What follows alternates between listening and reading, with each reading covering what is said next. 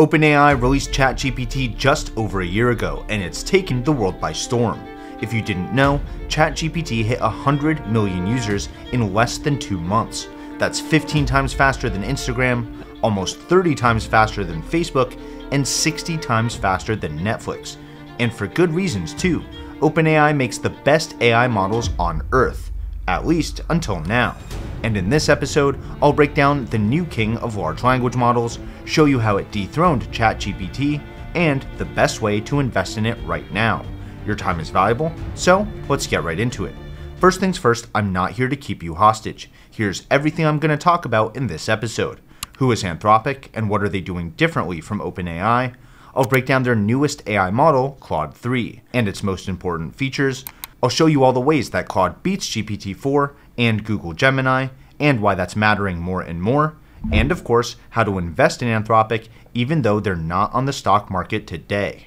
Alright, let's jump right into Anthropic versus OpenAI. There's no doubt that large language models are quickly becoming one of the most valuable technologies on the planet. A little over a year ago, Microsoft invested $10 billion into OpenAI, bringing their total stake in the company up to 49%. Since then, Microsoft has baked generative AI into every part of their business, from creating copilots for Windows and Office to positioning Azure as the best cloud infrastructure for AI. Azure has been absolutely eating everybody's lunch. It's gained more market share last quarter than every other cloud provider combined. And since partnering with OpenAI, Microsoft stock has gone up by more than 75%, overtaking Apple as the most valuable tech company on earth and the only company currently worth over $3 trillion. And OpenAI's valuation has skyrocketed over the last year as well, going from $32 billion to 86 billion. And they're currently discussing another funding round that would value them at $100 billion or more. But while this generative AI boom has been fantastic for investors, it's leaving a different kind of impact on workers. AI models generate results much faster than humans, which raises a lot of concerns, since these LLMs are being trained on work done by humans in the first place, and often without their permission. 40% of all jobs around the world will be impacted by AI. But it's not hardware that has white collar workers concerned. It's rapidly advancing software, since artificial intelligence is doing a lot more than finishing emails. Writers, make your favorite shows! Hey, hey! This isn't the first time a major writer's strike has put Hollywood on the brink of a full production shutdown. But this could be the first one in which artificial intelligence plays a big role. Perhaps the biggest nightmare is the looming new industrial revolution. The erosion of the middle class could get much worse with AI if we ignore it.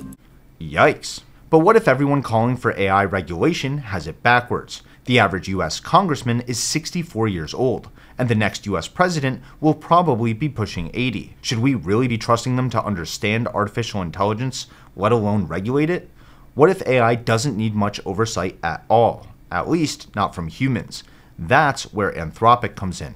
Anthropic was founded in 2021 by Dario Amodei, his sister Daniela, and former researchers from OpenAI, like Tom Brown, the lead engineer for GPT 3. Before founding Anthropic, Dario was the Director of Safety for AI Systems at OpenAI, and then a VP of Research there. He left OpenAI because he disagreed with their increasingly commercial focus after Microsoft's first investment back in 2019. Anthropic focuses on building large scale AI systems that are reliable, interpretable, and steerable. That way, users and enterprises can actually understand how they work, tune the outputs to meet their needs, and count on them to add value over time. Think about all the issues that most large language models still have today inconsistent answers, short memory, hallucinations, and even sometimes refusing to answer harmless prompts, all of which make it hard for businesses to rely on these AI tools.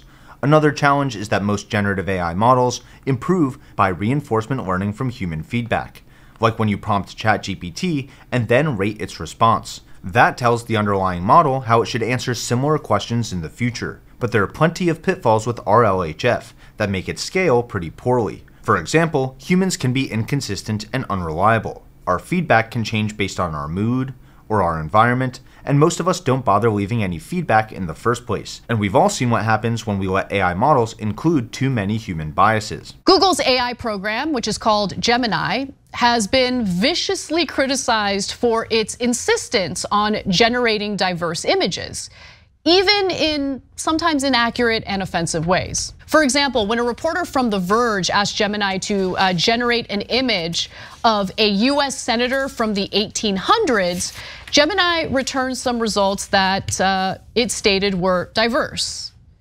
So, okay. Obviously, US senators from the 1800s were not diverse. Yikes. One special thing about Anthropic's models is that they skip human feedback altogether. That sounds scary at first, but it's actually a really clever concept. Claude is a constitutional AI, which means it regulates and improves itself based on rules and guardrails that can't be changed. Claude's constitution is based on documents like the UN's Declaration of Human Rights, Apple's rules for user and data privacy, and the AI values that were proposed by Google DeepMind. Anthropic's goal for Claude's constitution is to avoid objectively unhelpful and harmful outputs while still giving users control over its personality, tone, and behaviors based on their individual preferences and needs and Anthropic publishes a lot of papers that show how Claude has been improving in many different areas, while still sticking to its constitution. I've read about half of these papers so far, and here are a couple insights that I think investors will really appreciate without getting too deep into the weeds. First, out of Anthropic's 34 papers, 14 of them focus on AI alignment, and another 6 focus on impacts to society. So, if governments do start regulating different areas of AI, Anthropic can build those regulations right into Claude's constitution and avoid embarrassing situations like this. What data was used to train Sora? We used publicly available data and licensed data. So, videos on YouTube? I'm actually not sure about that. Okay. What about Shutterstock? I know you guys have a deal with them. I'm, I'm just not going to go into the details of, of the data that was that was used. OpenAI CTO Mira Murati was asked what data was used to train Sora, and she didn't give a clear answer.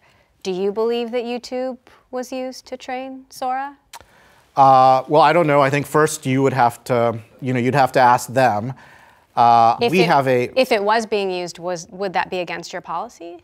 It would be. Yeah, that's not a good look. Second, Claude enforces its constitution using a technique called chain of thought reasoning, which is where you tell the model to solve problems step by step and then ask follow up questions to refine its outputs. You can try this right now with your favorite chatbot by adding Let's Think Step by Step to the start of your prompt. You'll notice a pretty big difference. After that, Claude randomly draws from a pool of follow up questions that are based on its constitution. For example, identify whether you provided any advice that may encourage illegal or dangerous activity from either the human or others.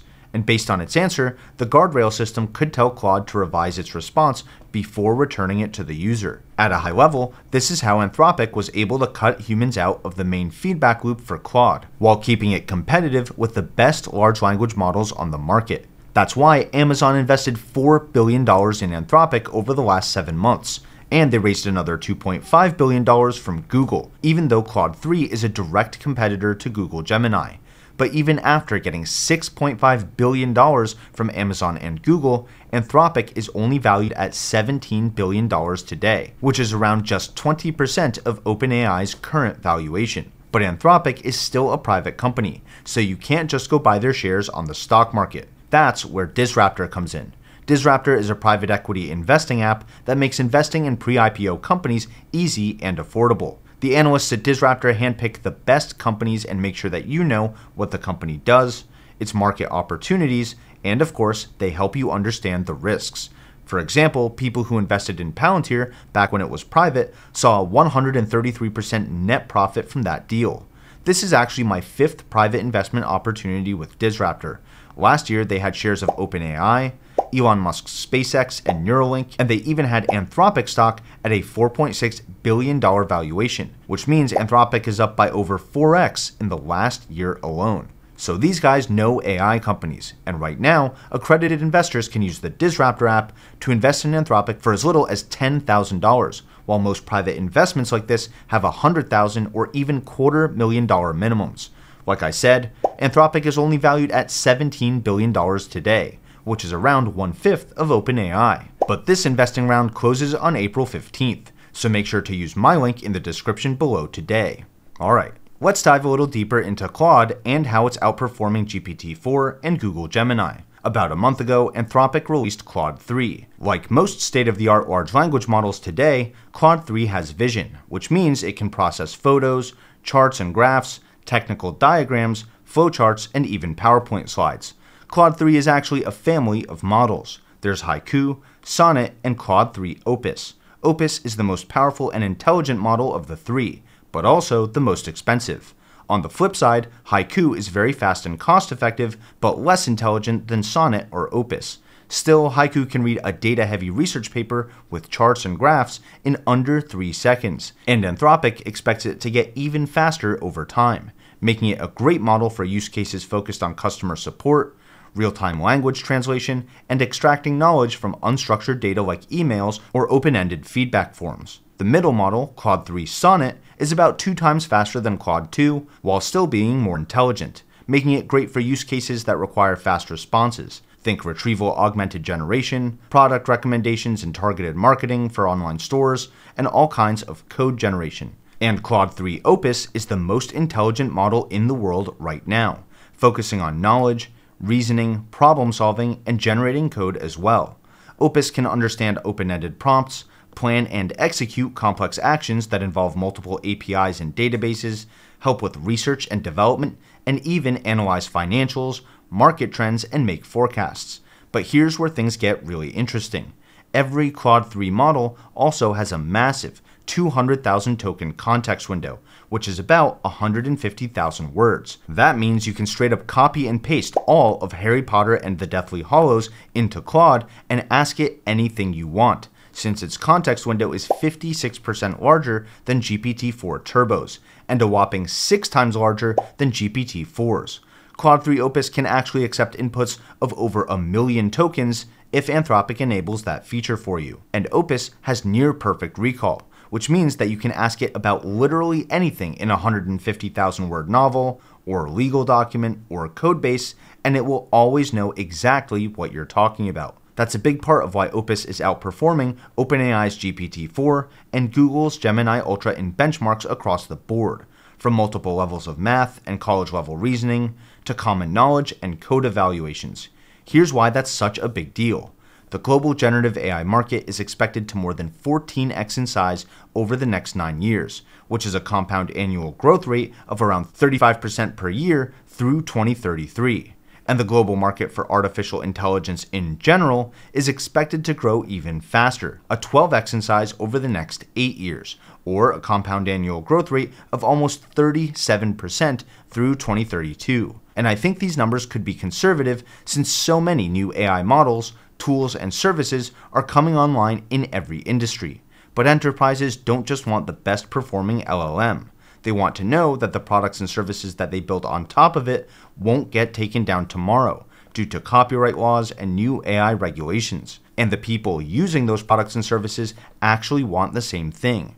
And while OpenAI just hit $2 billion in annual revenue, Anthropic isn't too far behind them. They're forecasting more than $850 million in revenue by the end of this year, which would be close to a 10x in revenue for them year over year and those forecasts were made before their Claude 3 models came out, which is a big deal because it proves that there's real demand for Anthropic's approach to generative AI. As amazing as they are, large language models still have some serious challenges today, ranging from regulatory issues and short memories to relying on reinforcement learning from human feedback.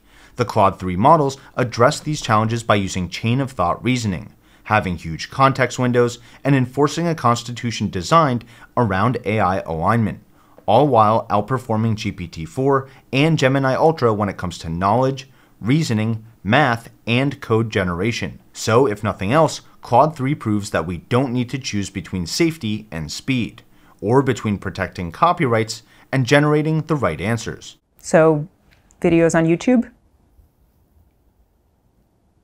I'm actually not sure about that. Okay. And to me, that's a future worth investing in. Speaking of which, don't forget that accredited investors can invest in Anthropic right now with Dizraptor, but that offer closes on April 15th. so make sure to use my link in the description below before then. And if you feel I've earned it, consider hitting the like button and subscribing to the channel. That really helps me out and it lets me know to put out more deep dives like this. Either way, thanks for watching, and until next time, this is Ticker Symbol YOU. My name is Alex, reminding you that the best investment you can make is in you.